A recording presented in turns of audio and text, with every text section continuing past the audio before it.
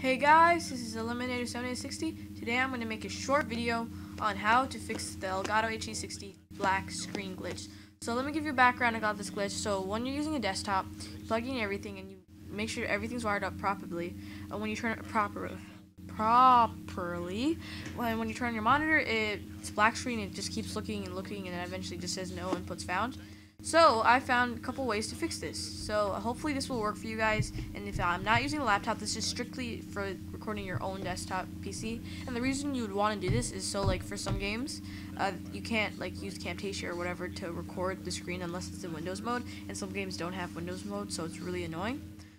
So let's get straight to it. Uh, it shouldn't take too long. Hopefully this will work for you guys. But this one, first you want to do is I'm recording, so I can't change it. But what you're going to do is go to Profile, right here, and then profile change that to 720 okay press ok um unplug it. Oh of course you have to plug into your monitor to actually see it. Unplug it plug it back into your uh, Elgato and hopefully it'll work. If that doesn't work what you want to do is do the same thing again or you just leave it on.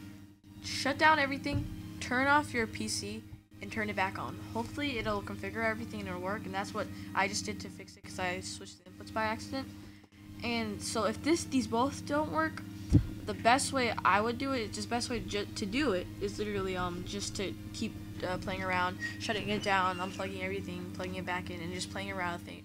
And also, um, I might be going crazy, but I heard um that some Samsung monitors don't work with Elgato, and I think this was one of them. So I had to play with around, and hopefully for you guys it'll work right when you plug it in. But if it doesn't, then you can just watch this video and try to find fixes.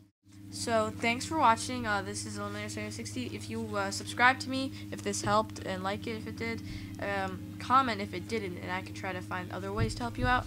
And uh, subscribe to me for some Destiny videos, and also I'm going to be making some Call of Duty World at War videos since I got my new computer. And if you wanted to know, I don't know if this is going to matter, but I am using the Elgato HD60 and an Alienware PC.